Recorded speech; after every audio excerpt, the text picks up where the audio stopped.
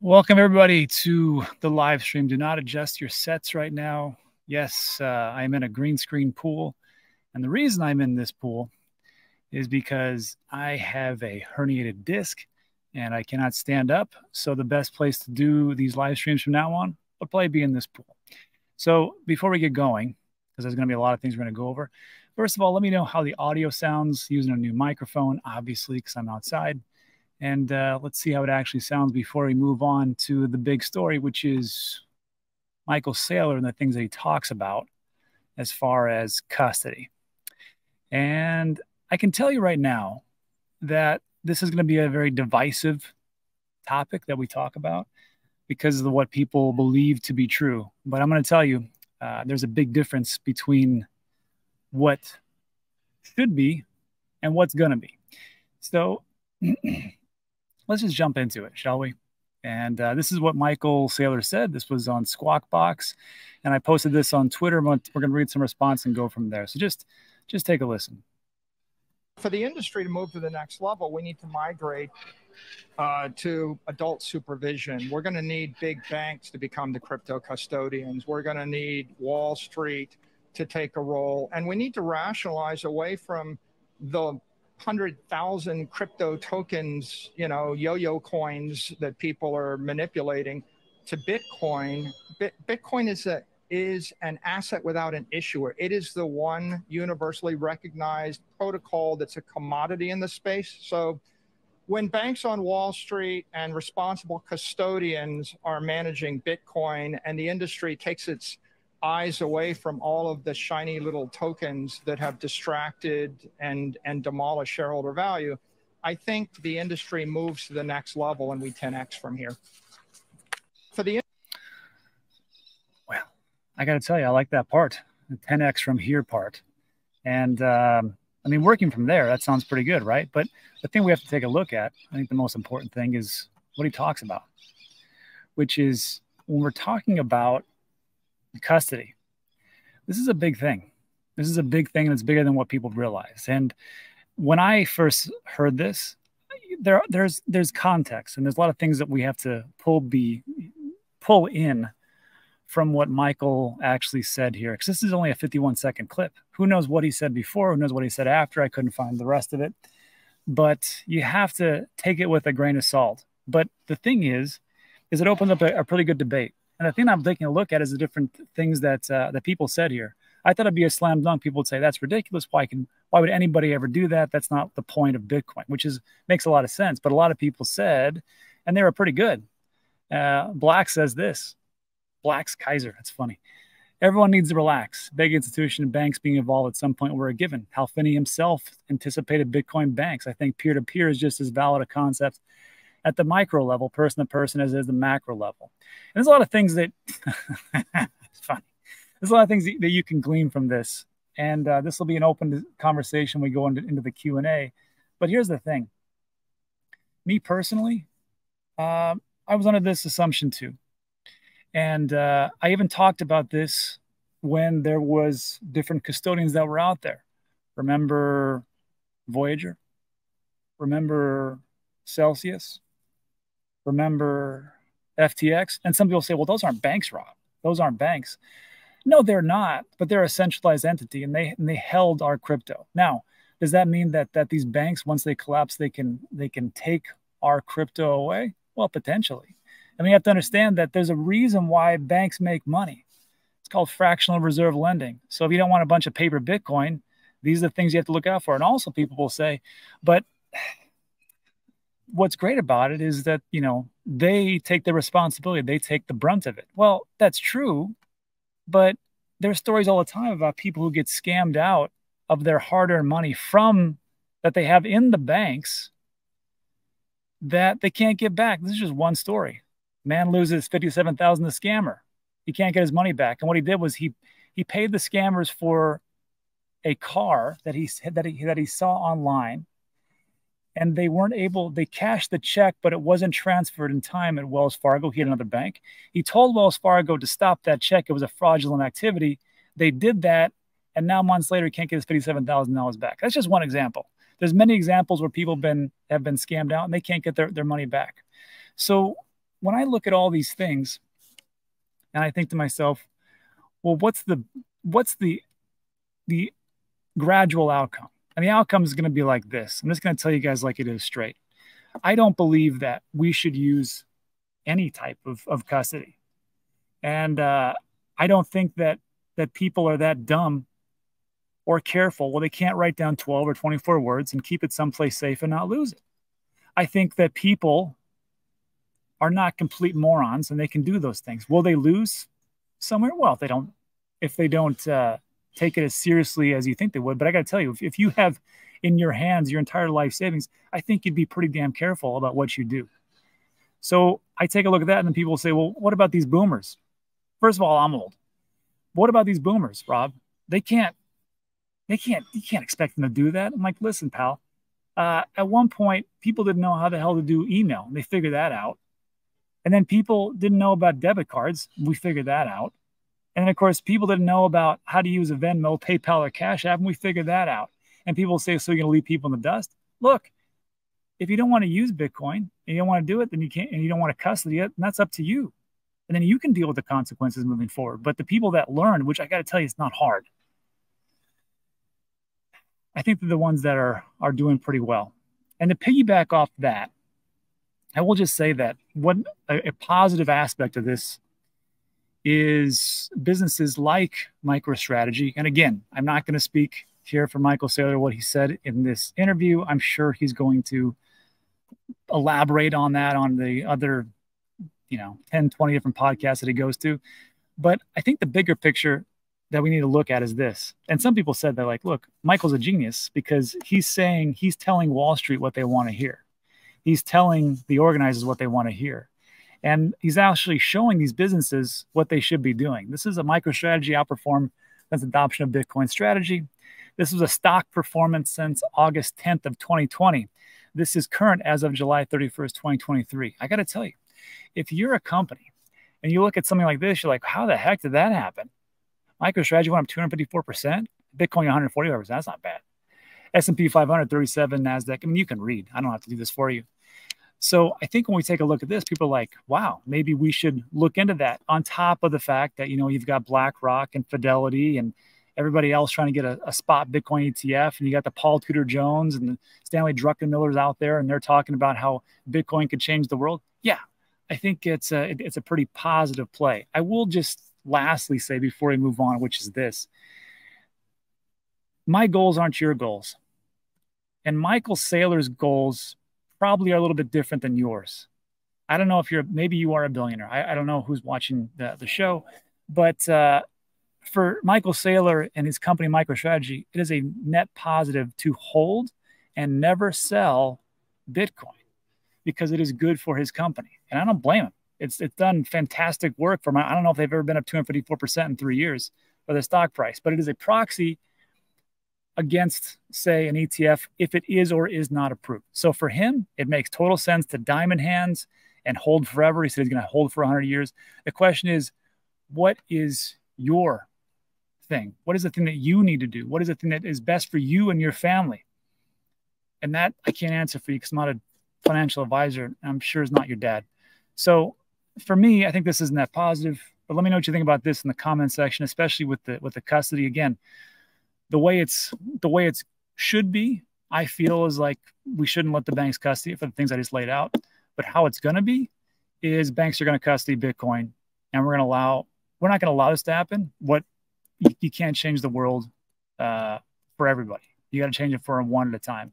And hopefully, once people figure it out, it's the same thing with like centralized exchanges. Some people just have to learn the hard way. And I am one of those people included. When I got in in 2017, I heard about Mt. Gox. And I was like, that'll never happen because look at all these centralized exchanges. I mean, I don't want to go into this, but you, you know what I'm saying. People are going to make their mistakes. They're going to fall hard, and that's just how it goes. So, anyhow, let me think about that in the comments. And speaking of companies that are doing pretty damn well just by implementing Bitcoin, this is a, a quick piece. Uh, Jack Dorsey, former owner of Twitter, now called X, Elon Musk bought him out. Jack Dorsey's block had 5.62 billion in revenue, 44 million in Bitcoin profits in Q3. Bitcoin revenue contributed to as much as 43% of its total revenue. That's pretty good.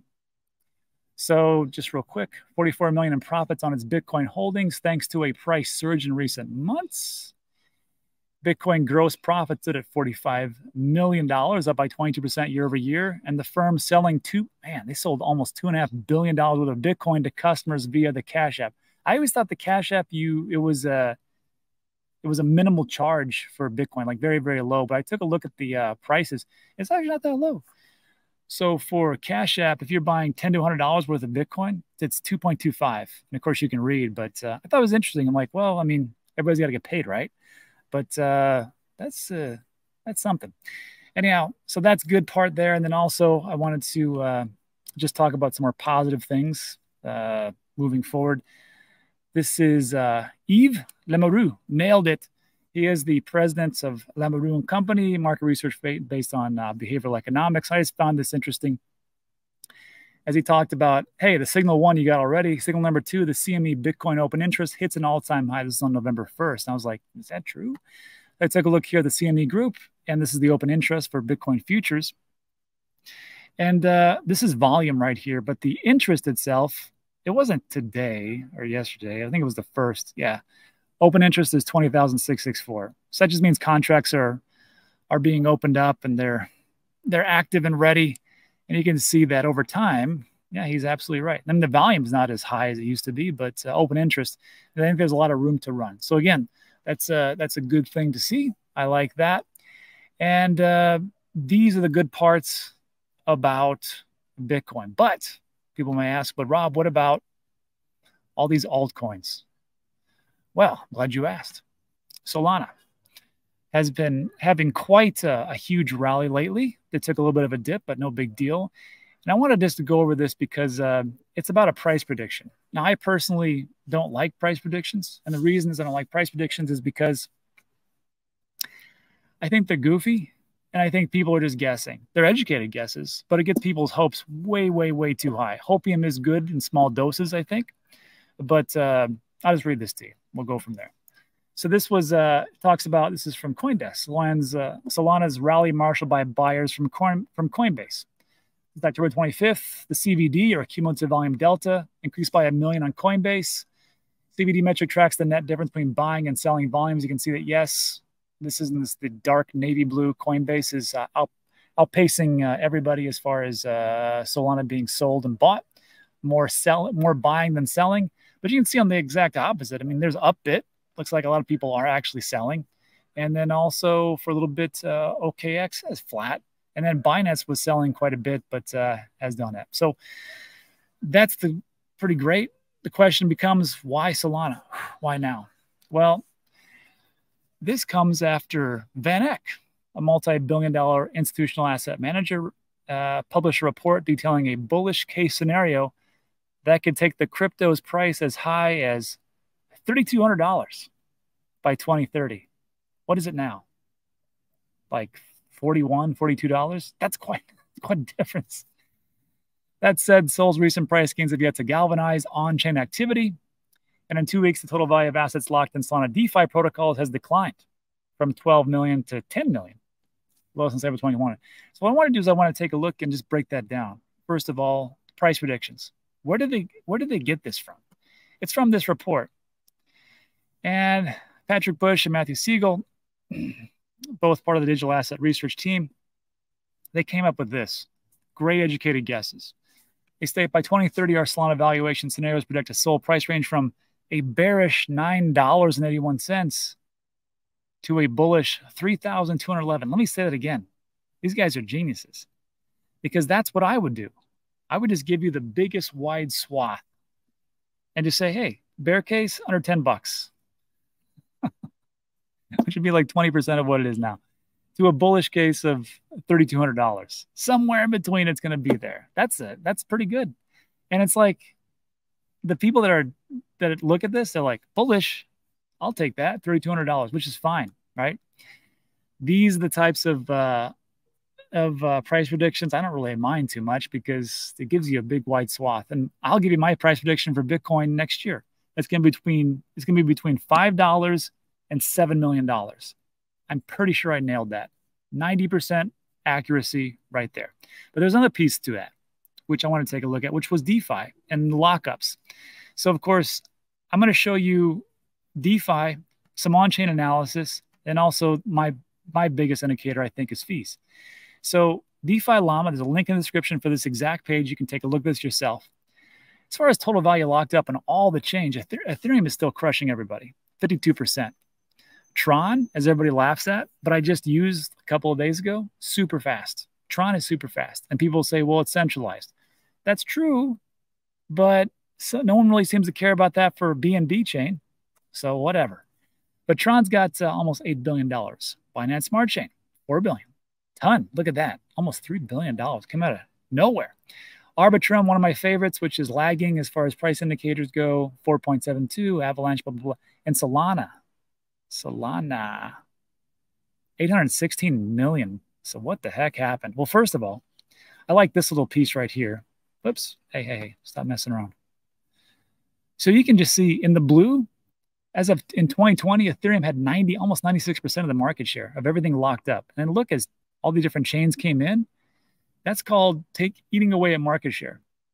And you can just see that actually as of, I think we peaked out for Ethereum recently in March. It had 61%. Then you can see it gradually decline. Now we're at 52, somewhere around there. And of course, the Trons, the Binance Smart Chains, the Arbitrums pick it up. But Polygon, not that much, quite honestly. So then the question is, okay, well, if they're not locking it up, but there's got to there's a lot of TPS, there's a lot of transactions going on, right, Rob? Well, there is, as a matter of fact. This is SolScan. You can also find this in links in the description as well. I want to show you this. This TPS, transactions per second, 3,000, 4,500, 6,000. It's been said that the transactions per second, the throughput, is extremely high, 65,000, somewhere around there and we're taking a look at the transactions. Look at all these transactions. That's huge. like, that's a lot. What's all this teal green stuff? Well, that's vote TPS. And the true TPS is this little topper. Well, what's the difference? Great question. The difference is this vote transactions are transactions that involve a voting account. Vote transactions involve configuration, registration, vote collection, and new vote signing. That's it. It's only people moving back and forth, a lot of different uh, different objects on the different uh, cells or buys on the blockchain, which is Solana. It's not just voting. It's it's imperative that this is done, but these are just vote transactions. Configuration, registration, vote collection, and new vote signing. Non-vote transactions involve transactions that do not interact with the vote program these include transactions that interact with the dApps built on Solana. At the time of writing, Solana's average non-vote TPS is 759. Three quarters of Solana's transactions are vote transactions, and uh, it might be a little bit higher than that, I think. But this article was written in 2022, so hey, whatever. Uh, again, so when people are talking about the the TPS, first of all, whatever. I mean, I'm sure it's fast. It's very fast. Um, and so everybody knows if I'm talking about it, it means I own it. Uh, so I own Solana, I own Bitcoin, I own Cardano, I own Chainlink, all those things. You can watch me on Sunday. I'll show you exactly what I what I own and how much I'm up and down as far as like the percentage wise. But the big thing I always say to look at is it's not just the TPS and the transactions and what's going on because you can you can you can take those transactions and you can fudge the numbers. But what you can't fudge, or is a little bit more difficult, is the fees. You're what you're doing is you're actually paying for something and using that chain. And that's where the rubber meets the road. That's where you put your money where your mouth is. And there's a website called cryptofees.info. Come on down to Solana, 10th, 11th one down, and they got a seven day and a one day fee. Here's the thing if you click on that and click on more details, what you want to know, because right now you're some of you are are probably shouting at the screen, but Rob, Solana is super cheap and Ethereum is super expensive. So that's why they have more fees. You are 100% right, pal. That's right. You are right. What I want to show you is just as things increase or decrease. That's what you want to take a look at. Are people using this more? Are they paying for it? Or what's going on? So let's still go all the way back. February, I just picked a random date, February 2021 you can just see that people were using Solana like crazy. They were voting with their pocketbook, right? But as you can see, as time has gone on, they're not really using as much, right? I mean, you can see that's pretty much average. And of course, there was the big, big decline. I think this was around, yeah, November 2022. This is when uh, FTX roughly collapsed, and of course, collapsed FTX or collapsed Solana because uh, that was uh, Scam Wankman's uh, favorite chain. And you're going to see that uh, as far as fees, no one wanted to use it, no one wanted to buy it. But for the positive, we can see that we have seen a little bit more of an uptick to 80,000, which I don't think has really happened since yeah, a year and a half ago, roughly. So things are looking not too bad. This is the indicator that I would put more weight to as far as what is actually being used as people are voting for their pocketbook. And also, just to reiterate some things, which is this you understand that Solana is super cheap to use. I mean, look at that transaction fee, 0.00025. Of course, people are going to say, but Rob, it's centralized and it goes down all the time. Hey, it hasn't gone down this year. So at least they're on the right direction. Ethereum is, that's a laughable. $21, I paid more for that during the peak seasons. Cardano, very cheap. Avalanche, cheaper. Polkadot, roughly the same. Algorand, super duper cheap, but not as cheap as Solana. And of course, here's the transactions and throughput. You can just see which one's kind of winning. However, out of all these things I just talked about, throughput and transaction fees, you know what beats Solana? Bitcoin. Bitcoin. Well, not Bitcoin per se, but the Lightning Network. I did not know this. And uh, I didn't know it was this good. Check this out. This is from Kraken. What's the Lightning Network? Well, it's a layer two solution for Bitcoin. It means it doesn't happen on chain, happens above the chain. It's off chain. So people are doing transactions, thousands, thousands, tens of thousands, hundreds of thousands of transactions per second. And it's up to a million transactions per second. Isn't that crazy? A million transactions per second. So when we take a look at, like, again, like Solana, 65,000, that's nice. But hey, I guess, I guess maybe Bitcoin can be used for payments. Again, this is from Kraken. The Bitcoin Light Network aims to solve these limitations by providing instant and inexpensive transactions while achieving a throughput of approximately 1 million TPS. And as a reminder, uh, Bitcoin right now can do seven, I believe, transactions per second. So not too great. This is actually verified also by BitPay because I'm like, that doesn't sound right, but I'll be damned if it was. A million transactions per second. Now, it's capable of handling a million. I don't know if it's actually been stress tested enough. I will leave that for the comment section. But uh, again, this is also from Blockstream. Bitcoin, 7 TPS, E30, Litecoin, da, da, da, da. Solana, 65,000. And it says that Bitcoin theoretically, Lightning Network can go up to 42 million transactions per second. Who'd have thunk it? So maybe we will be able to go to Starbucks and buy some coffee. Anyhow, let me know what you think about that in the comment section. And lastly, I just want to finish up before we get in the Q&A is two indicators that I thought were pretty good I'm going to uh, redo part of that uh, selling strategy video. If you don't know what I'm talking about, there is a link in the description. It looks like this when and why I'm selling 80% of my crypto. And there's a video right there you can watch. These are the indicators I'm looking at. There's seven or eight different ones. One of the ones I like to talk about is the Bitcoin risk bands. You can find this on Ben's site, into the Cryptoverse, 10%, uh, 10% off for the first month. Links in the description. Some of these things are free, some of these are not. Uh, there's different tiers. So that's what's going on. If I was you, maybe Ben's going to have like a, a Black Friday day sale. So just wait. Just wait to sign up. But what I thought was interesting is when I was talking about these, these Bitcoin time spent and risk bands. Right now, Bitcoin is currently a 0.5 to 0.6 risk band, which that happens 556 days out of the out of the entire existence of Bitcoin. Now look at this. See this one right here? 0.9 to 1.0. That's when things get way overheated. And it's only been 18 days in like the 13, 14 year, 2009, whatever. 14 years or so of Bitcoin's in existence, right? That's 18 days. And then 0.8 to 0.9 is 80. So when we're trying to like I can't time tops and I really can't time bottoms. That's why I'm just a DCAer. But I found it fascinating that with this one, check this out. See all this? This is the Bitcoin price color color coded by risk levels. And of course, it goes from the 0, 0.0, 0 0.1, which you can see is a lot. And usually that happens when, you know, after the after everything gets uh, blow off top and then it crashes, blow off top and crashes. But check this out. I'm going to hide all these. I'm just going to put in 0.9 to 1.0, which is the 18 days. You know what those 18 days are? Bam, right there. Doesn't that look nice? Huh? I don't know if you can see that really well, but uh, yeah. Topper, topper, topper, topper, topper. And over here, not the absolute top, but uh, if I could sell at 57,000, I'd be okay with that. So I didn't hit 69. And then look at this one. I'm going to put in the 0 0.0, 0 0.9. Same thing. Da, da, da. So if you're worried about like, you know, finding some tops, there's a lot of indicators. And of course, don't just follow me. There's a lot of smarter people than me to figure this out. But uh, that's a good one. And also, I want to show you this one. This is from LookIntoBitcoin. And it's called the Bitcoin Cycle Master.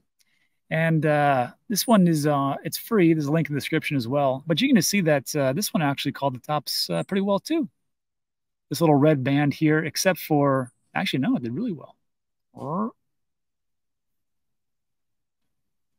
As it's going through these price fluctuations. But again, uh, the best thing to do is to look into different uh, indicators. But I like these two. These ones will probably be. I'm going to add them into the video that's it for today. So look, again, don't adjust your set. I'm in this pool today because I messed up my back and I cannot stand up for more than like 20 minutes starts. So I'm in the pool and I can uh, stand up straight. But thanks for stopping by. I appreciate it. If you like today's video, give it a thumbs up. Consider subscribing. Everything I talk about is roughly time sensitive. That's it for today. So.